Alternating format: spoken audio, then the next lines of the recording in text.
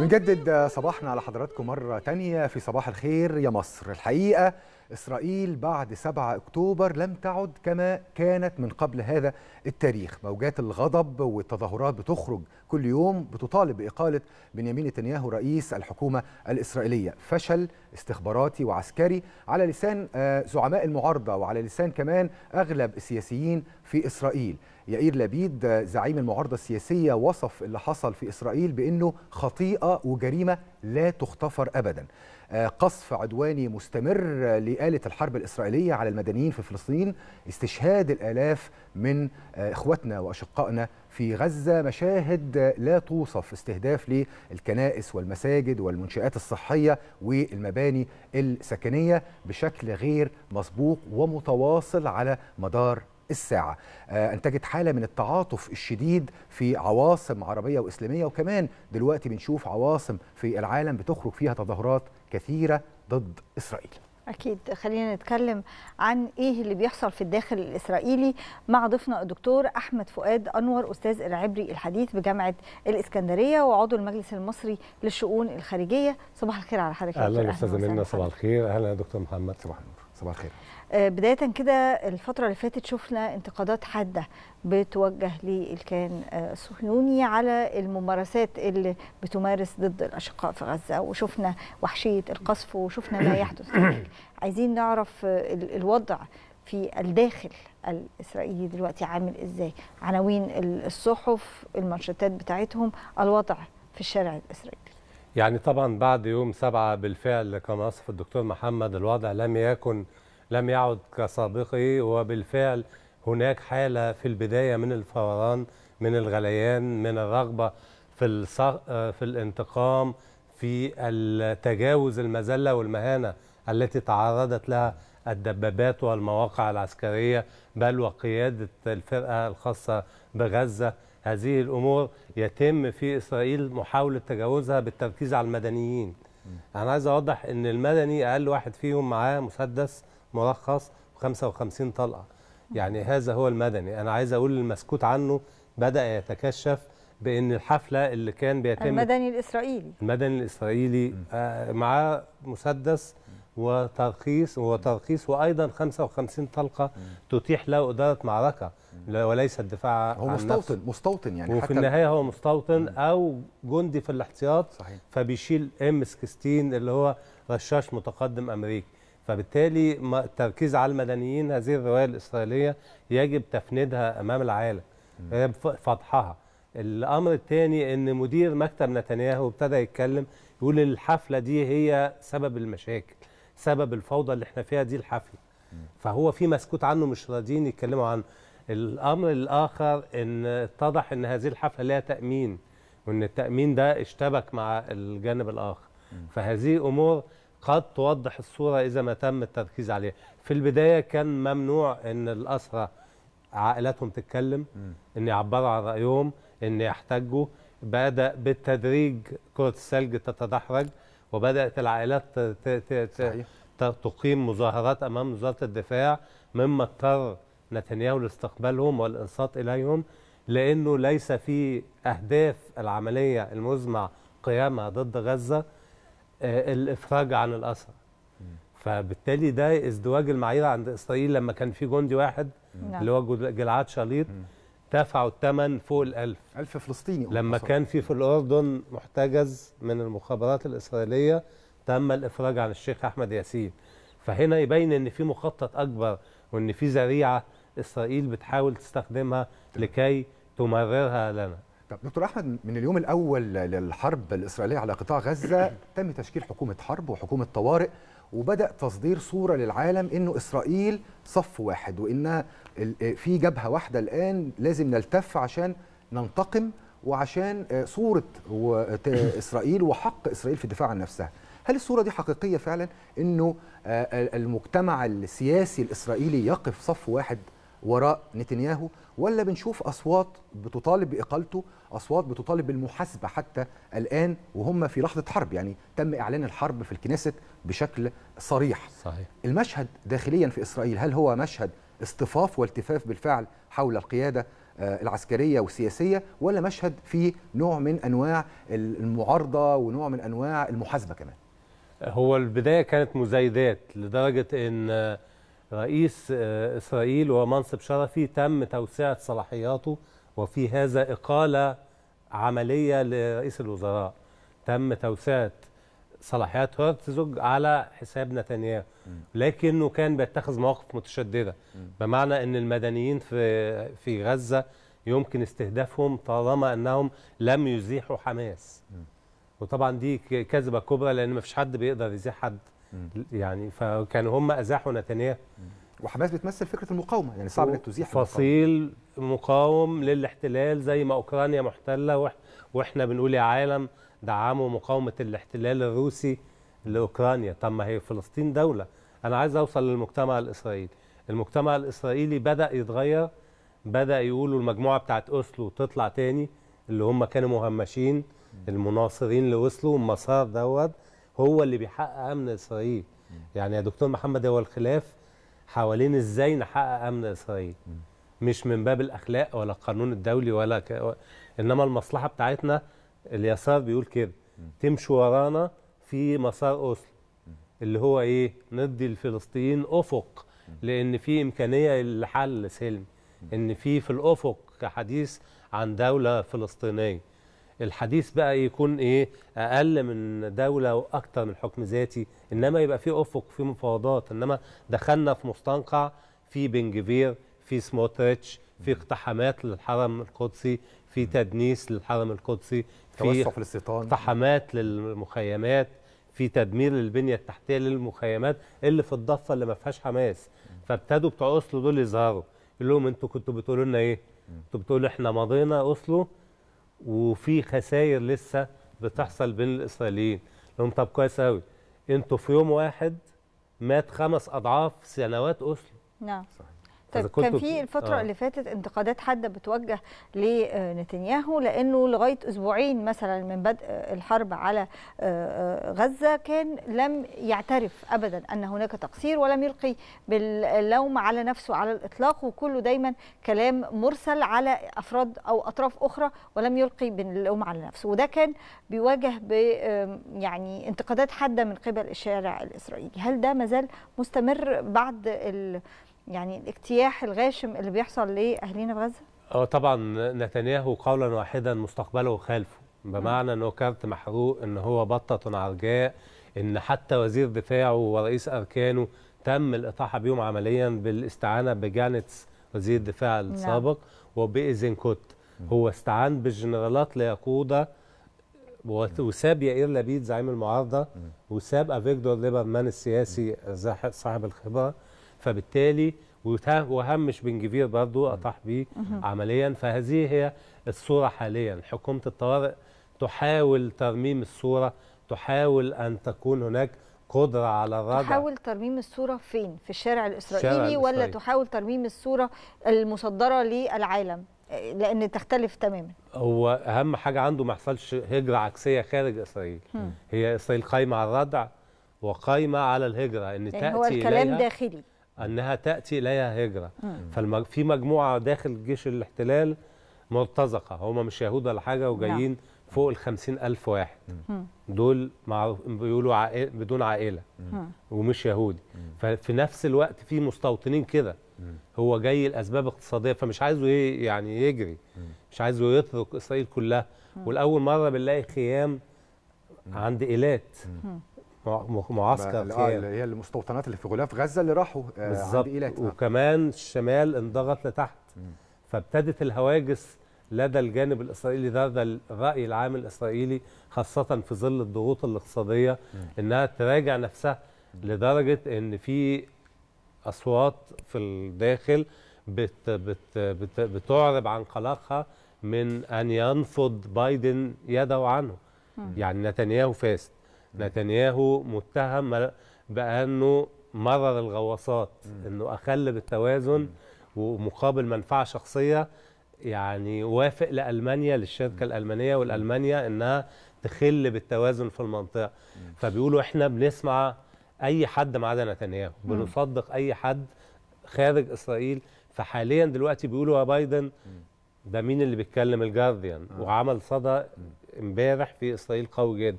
الجارديان بتقول يا بايدن انت نتنياهو بيورطك مصالحنا هتبقى في خطر راجع نفسك. إحنا مش عايزين نخش في الموضوع ده. آه، نتنياهو هو يعني أكثر آه، أو أكثر رئيس وزراء إسرائيلي بقاء في الحكم. يعني هو حكم 16 سنة لمدة ست فترات وكان بيعد دائما المجتمع الإسرائيلي أو الإسرائيليين بالرخاء والتقدم وغيره. فحضرتك بتقول خلاص إحنا دلوقتي في مرحلة ما بعد نتنياهو صحيح. بعد الحرب ما ما تنتهي يعني وانتهى مستقبله آه، السياسي. ال- الفكر اليميني المتطرف وحابب يعني وجود حضرتك معانا حتى نعرف السادة المشاهدين ونعرف كمان لأنه أفكار اليمين المتطرف هو شكل حكومة متطرفة جدا أكثر الحكومات تطرفا في تاريخ إسرائيل في آه، النظر للقضية العربية أو في النظر لفلسطين. يعني أغلب الوزراء بن غفير أو غيره زي ما حضرتك ذكرت لا يعترفوا إلا بإسرائيل الكاملة مثلا. صح. الضفة الغربية دي حتى هي تبع إسرائيل. يهودا والسامرة خطورة هذه الأفكار وخطورة تمرير هذه الأفكار سياسيا برايك أشكرك يا دكتور على ال- السؤال لأن إحنا التاريخ ما بدأش يوم 7 أكتوبر 2023 إسرائيل تروج لذلك تزعم ذلك. إنما هو بدأ لما كان في حركة كاخ أسسها مائير كهانة. والقانون الإسرائيلي نفسه قال إن هذا عنصري يدعو للعنف وأزاحوه. دلوقتي إحنا عندنا 10 10 مائير كهانة. وبقوا وزير أمن قومي وبقى مسؤول عن الأجهزة الأمنية اللي كانت بتلاحقه. يعني في قطاع اسمه الإرهاب اليهودي داخل الشباك. هو حاليا اللي كان ملاحق وخطر على الأمن. فهذه هي النماذج التي نتعامل معها. عايز ألفت النظر إلى كتاب اسمه شريعة الملك. شريعة الملك يشرعن ويبرر وفق الهلخاء اللي هي الشريعة اليهودية قتل الأطفال. وإذا كنت أنت رحيم يعني إذا شفته بيغرق ما ما تنقذوش. ده في وقت السلم. إذا حسيت إن لما هيكبر هيمثل عليك خطر اقتله. إذا كان لا ينفذ وصايا أبناء نوح اللي هي عدم التعري عدم عبادة الأصنام اقتله. فالعالم يجب أن يعرف إن هو بيتعامل مع الجويم اللي هم الأغيار وليس حماس وليس الفلسطينيين وليس العرب. حضرتك ده اللي بيحصل كمان هم عندهم جندي قتيل أفضل من جندي أسير اللي أيوة هو صحيح. البروتوكول الخاص ب, ب... هانيبال. هانيبال. هانيبال دي 1000 آم، 2003 المخابرات الحربية الإسرائيلية الرقابة العسكرية سمحت بإن نعرف إن في حاجة اسمها هانيبال إن نضرب بالدبابات والأسلحة الثقيلة على الاسرى والخاطفيهم يعني. فبالتالي نضحي بيهم. وده ضد الشريعة اليهودية اللي بتقول النفس اليهودية أكثر قداسة من السبت وأكثر قداسة من الأرض نفسها. فهذه هي المعركة الإعلامية معركة التوعية إن في حاجة اسمها حخام يهودا جليك. يهودا جليك من أصل أمريكي خريج المخابرات الحربية الإسرائيلية وعلى طول بيدنس الأقصى وبيعترض على قرارات الحكميه الرئيسية اللي بتقول ما تروحوش. ما تدخلوش الأقصى حرام تخشوا الأقصى وفق الشريعة اليهودية وضد الحريديم اللي ضد الدخول الأقصى فداخل يعمل استفزازات لمشاعر المسلمين وداخل يدنس وداخل يحشد ال- اليمين ضد ال- ال- المسجد الأقصى والحرم القدسي. طيب خلينا عودة تاني للداخل الإسرائيلي. عايزة أعرف العناوين المتصدرة في الصحف ووكالة الأنباء الإسرائيلية بيتكلموا عن إيه؟ آه، الشارع بيقول إيه هناك؟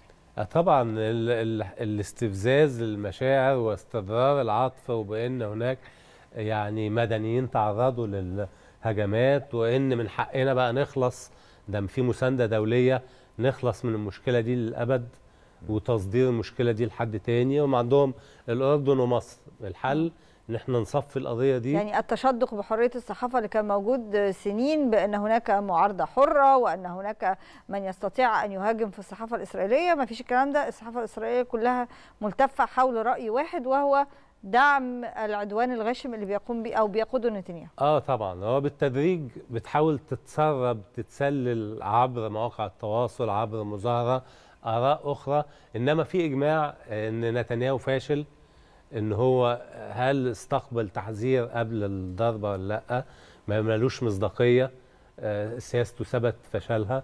فده آه، مفروغ ده. عناوين الصحف. آه ده مفروغ منه. طب آه، الناس بقى؟ الناس نفسها. ابتدت تتحرك تراجع نفسها أكتر إن آه، فين الوعود؟ يعني أنا باخد فلوس عشان أقيم داخل أو بالقرب من قطاع غزة لكن أمني مهدد فبالتالي اضطريت أهرب. فهو بياخدوا أموال كل سنة 350 ألف شيكل لكل عنصر يقيم قرب آه، قطاع غزة. لكن آه، في المقابل لا يريد أن يموت. صحيح. ولا يريد أن يعيش في هذا الشلل إن دايما في ملاجئ. فأصبع الاتهام موجه لهذه الحكومة إنها حكومة فاشلة وإنها هتستعين كمان بعمال أجانب. في عمال أجانب مكان الفلسطينيين اللي كانوا بيشتغلوا. إن حالة الشلل دي لا يمكن أن تستمر في دولة تعتمد على الاحتياطي.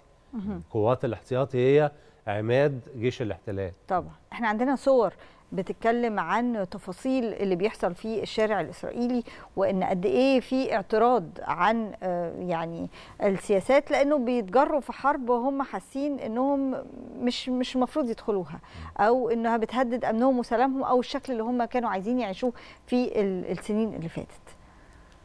طبعا الصور آه، بتؤكد بأن إسرائيل بتعمل استهتار آه، ولا تكترث حتى بحياة آه، اسراها بمعنى إن القوات الجوية اللي بتقصف تقصف عشوائي بأطنان من المتفجرات من المؤكد إنها قتلت أسرى. وستقتل أسرى من الإسرائيليين فهذه يعني آه، معركة آه، خاسرة اعلاميا. كيف بيديرها دكتور أحمد نتنياهو لأن نتنياهو في مأزق كبير في الداخل الإسرائيلي؟ فكرة إنه تم الإعلان رسميا آه، الجيش الإسرائيلي إنه في 202 آه، أسير إسرائيلي وتم إبلاغ ذويهم وعائلاتهم إن هم موجودين في غزة. امبارح بالليل شفنا مظاهرة أمام منزل آه، نتنياهو والمظاهرات متواصلة الأيام الماضية. ملف الاسرى ده لأن دي الورقة الأهم أو الأقوى والتفاوضية في يد المقاومة بيديرها إزاي نتنياهو؟ وفي بعض ال ال الأقاويل آه، والأصوات بتقول إنه تأخير الدخول البري لترك مساحة أكبر للتفاوض للاسرى انه في كمان اسرى من جنسيات أخرى في دول بتضغط على طبعاً، إسرائيل. طبعاً. يعني آه، اسرى من أمريكا ومن دول أخرى مختلفة. صحيح. الملف ده بيدار إزاي داخليا وسياسيا؟ كل المؤشرات تشي بأن هناك فعلا جنسيات أخرى وأن هناك ضباط رفيع المستوى قيادات في جيش الاحتلال داخل الأسر ال- الغزاوي. آه، أو الحمساوي أو فصائل المقاومة. الفكرة إن نتنياهو بيحاول يهمش هذه الورقة حتى لا تكون عنصر ضغط عليه بحيث إن هو لا يدفع ثمن فادح إنما يدفع ثمن بخس فيصدر للجميع بأنه غير مكترث. لكن في جميع الأحوال واضح إن المفاوضات عبر الوسطاء آه، قائمة وإن التفاوض شرس وإن في نفس الوقت الدخول البري غير آمن. لو كان يستطيع بعمليات خاصة عمليات استخباراتية تخليص هؤلاء كان فعل إنما التأخير واضح إن في اولا مفاوضات في ضغوط خارجية من وفي ضغوط خارجية وإن في مشاكل في الهجوم البري سيكون له كلفة وفاتورة تتمثل في سقوط مزيد من الأسرى في انفجار وتدمير عدد آخر من الدبابات أمام عدسات الكاميرات فهذا سيكون له مردود سلبي حتى في من يناصرهم. يعني إحنا شفنا القاهرة حشدت في مؤتمر القاهرة للسلام.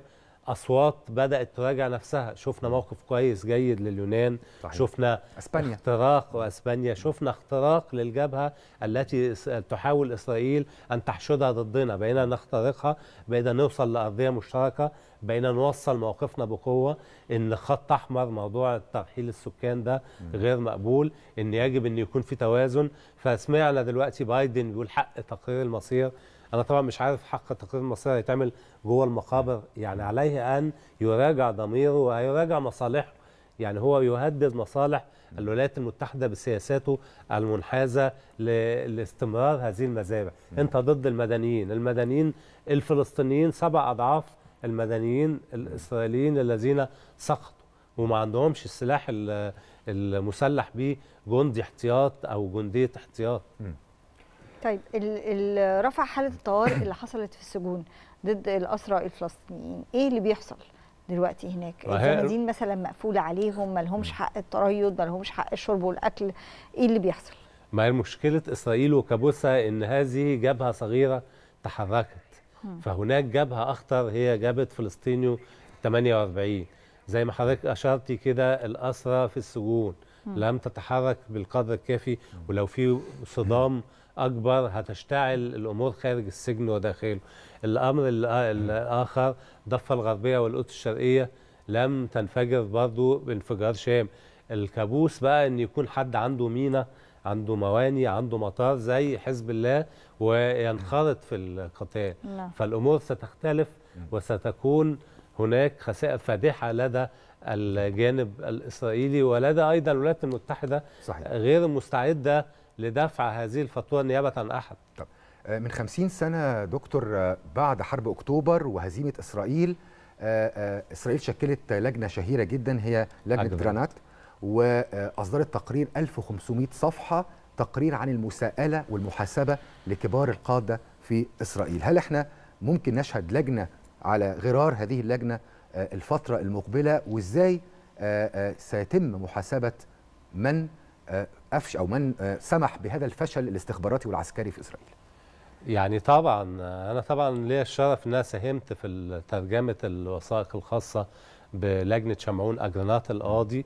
وأعتقد إن على غرار هذه اللجنة سيكون هناك محاسبة خاصة وأن هناك من نبه من 2018 جنرال اسمه إسحاق بريك وقعد يقول وينبه ويضرب نواقيس الخطر ويشعل اللمبات الحمراء آه، بدون جدوى. يقول الجيش ما فيش جهوزية. جيش جيش الاحتلال يقصد. الجيش اختيارات القيادات خطأ. لسنا على استعداد للتعامل مع جبهتين. فهذه هي الأمور التي دفعت نتنياهو مؤخرا لكي يقول له يعني ما, ما الذي كنت تقصده؟ ولما افيجدور ليبرمان عرضوا عليه وزارة الدفاع في ظل هذا الاضطراب وهذه الفوضى لأن في يوم وجدنا إن كل إسرائيل مطالبة إنها تنزل في الملاجئ وطرح إن هو إنذار خاطئ. فحاليا إسرائيل في حالة ارتباك لديها كثير من الأوراق المختلطة لديها ضغط غير عادي وغير مسبوق ولعل هذا الضغط وهذا الانفجار لا يدفع ثمنه مزيد من المدنيين الفلسطينيين. اشكرك شكرا جزيلا. دايما بتنورنا. وتشرفنا الأستاذ الدكتور أحمد آه، فؤاد أنور أستاذ العبري الحديث بجامعة الإسكندرية وعضو مجلس الشؤون الخارجية. شكرا جزيلا وصباح الخير حضرتك دكتور. شكرا. صباح الخير أستاذ أمان.